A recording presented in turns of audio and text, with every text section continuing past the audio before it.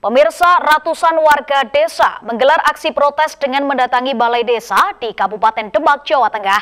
Aksi tersebut dilakukan setelah beredar informasi dana pemilihan kepala desa telah habis dan mengakibatkan ditundanya pemilihan. Inilah aksi ratusan warga saat menggeruduk Balai Desa Melaten, Kecamatan Mijen, Kabupaten Demak, Jawa Tengah. Mereka terus menyorakkan kata pilkades dibuka sebagai bentuk protes lantaran pemilihan kepala desa secara serentak di Desa Melaten terancam ditunda.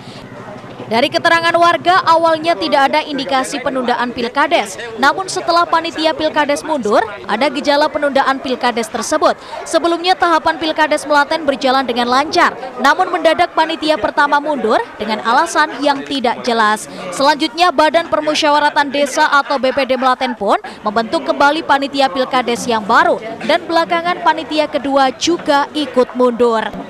Mundurnya panitia kedua ini memicu kondisi Pilkades Melaten yang terancam ditunda. Ketua Badan Permusyawaratan Desa Melaten yakni Munawar mengatakan, pasca panitia kedua mundur, pihaknya selaku Badan Permusyawaratan Desa sudah melayangkan surat ke Bupati melalui Dispermades Demak tentang kondisi Pilkades di desanya. Selain itu, akibat kedua panitia mundur, Pilkades Melaten harus ditunda karena pihak desa tidak memiliki anggaran untuk menjalankan Pilkades secara mandiri. Dari 30 bahu banda desa, yakni berupa sawah yang ditargetkan bisa mendanai Pilkades, ternyata tidak laku saat dilelang. Ya, ini uang dari APBD. Dan sementara ini di, di anggaran desa Ada, tidak ada ada. uang, Pak.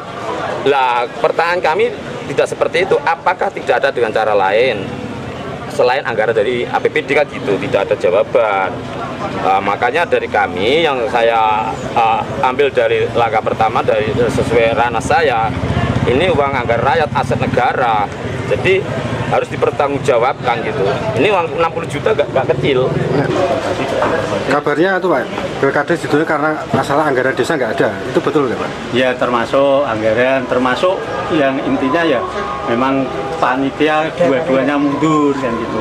Termasuk itu anggaran juga anggaran apa pilkades karena eh, panitia yang pertama dan kedua adalah sudah eh, mengeluarkan biaya dan eh, kalau misalnya dilanjutkan itu saya tentunya rapat dengan Pemdes itu tidak ada anggaran.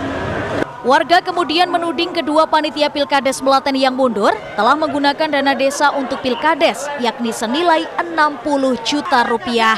Bila Pilkades serentak di Desa Melaten ditunda hingga tahun 2025, warga khawatir pembangunan desa akan semakin terkendala. Herwi Bawa, Semarang TV.